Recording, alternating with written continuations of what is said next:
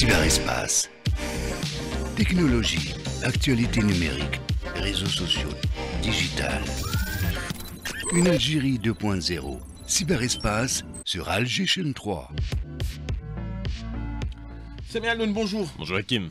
Ah, quand s'élèvent contre ce qui se passe en Palestine sur les réseaux sociaux face à toute la manipulation, la propagande des célébrités, des footballeurs, des musiciens et autres qui finalement se retrouvent insultés, ciblés, menacés, alors qu'au final il s'agit de messages de paix, de solidarité avec le peuple palestinien. Alors au cœur des réseaux sociaux, des plateformes qui sont très consultées par les internautes au quotidien, donc toutes les publications, les vidéos de courte durée, la tendance actuelle est bien évidemment alimentée par les événements en Palestine.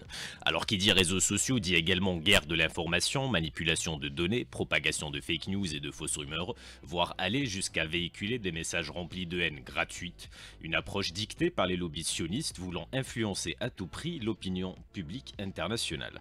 Alors une influence contre laquelle des voix commencent à s'élever, des célébrités, footballeurs, artistes, de nombreux internautes ont refusé de faire partie de la mascarade médiatique, ils ont laissé de côté le synopsis, le scénario dicté par l'entité sioniste pour s'exprimer ou soutenir une réalité qui est le massacre du peuple palestinien.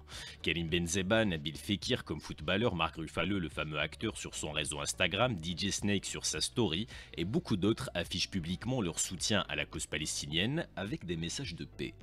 Un feedback, un retour a lieu de la part d'internautes, des publications qui sont commentées également sur les plateaux télé.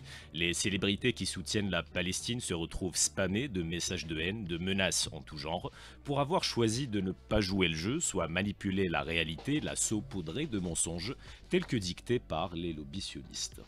Et on ne finira jamais par... Euh, euh, on n'arrivera jamais à masquer, à mettre un voile sur ce qui se passe vraiment, même avec ces euh, pratiques. Samir Aloun, merci.